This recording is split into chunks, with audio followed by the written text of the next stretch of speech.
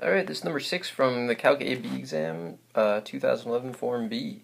And it's one where they give you a graph and a function and ask you all kinds of stuff about it. Um, so f of x is defined to be g of x uh, minus the cosine of x over 2. And g of x is that graph given to the right there.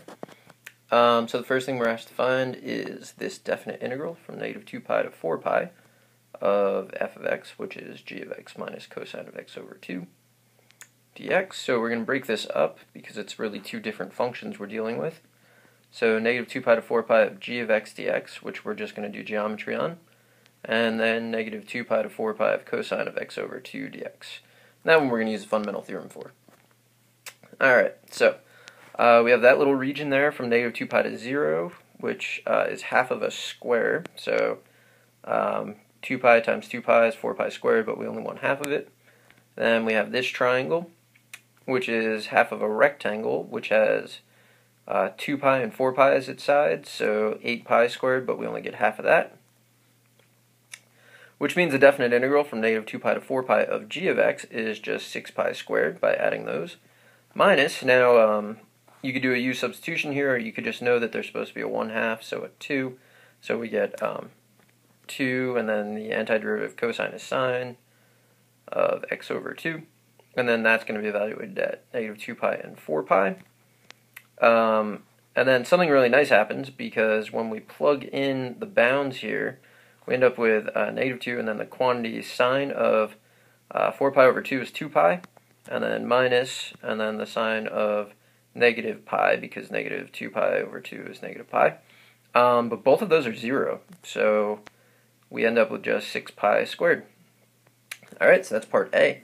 Um, in part B, we're asked to find critical points, and this is annoying, um, but we'll do it. So there's f of x, and again, we're going to need the graph of g. Um, so f prime we know is g of x, uh, g prime of x rather, and then plus 1 half sine of x over 2. And, alright, so critical points. That's when f prime is either uh, 0 or undefined. So let's deal with undefined right away. Because if you look at the graph of f of x, uh, g of x rather, you can tell immediately that at 0 it is not differentiable. So f prime will be undefined at x equals 0 because g prime of 0 does not exist. Uh, now we need to deal with f prime of x being equal to 0. And to do that, we need to figure out g prime.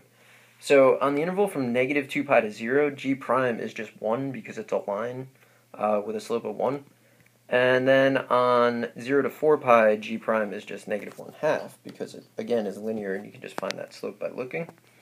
So we get two different things. Um, for x less than 0, we have f prime of x equal to um, g prime is 1, and then plus 1 half sine of x over 2. Um, but if you think about the range of that function, so you're at 1 and you can go up 1 half and down 1 half, you're never going to get to 0. So it doesn't ever equal 0, so no critical points from there. Uh, so let's look at the other side. When x is greater than 0, f prime of x is, um, well, g prime now is negative 1 half, and then plus 1 half sine of x over 2. Um, so we need that to be equal to 0, and that leads us to sine of x over 2 being equal to 1. And then if you think about the unit circle, the only place sine is equal to 1 is at um, pi over 2, which mean that, means that x must be equal to pi. Um, and that's the only value between uh, negative 2 pi and 4 pi for sure. I mean, there are more values, but uh, not on the interval we're looking. Um, and then to summarize for whoever's grading this thing, critical points of f of x are at x equals 0 and at x equals pi. Alright, so that was a lot of work. Thankfully, part C is not a lot of work. So for part C, we're given this accumulation function, and we're asked to find its derivative. So this is the second fundamental theorem of calculus. So h prime of x is going to be g evaluated at that upper bound, so g of 3x, times the derivative of the upper bound, so times 3. So to find h prime of negative pi over 3, all I have to do is substitute in negative pi over 3. So uh, 3 times negative pi over 3 is negative pi, and then times 3. Um, so now what I need to do is I need to figure out g of negative pi. Uh, if you look at the graph, you can tell that it's pi, or if you want to do more work, you could work that out, but it's definitely pi. Um, so we end up with 3 pi, and that's the final answer. And that's the entire question. Hope you found this helpful, and good luck.